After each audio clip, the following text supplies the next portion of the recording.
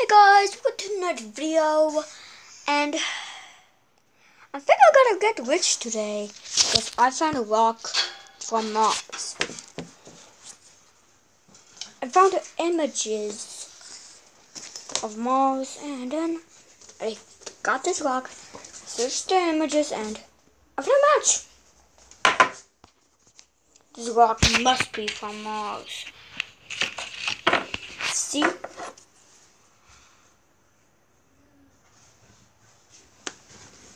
It's a match.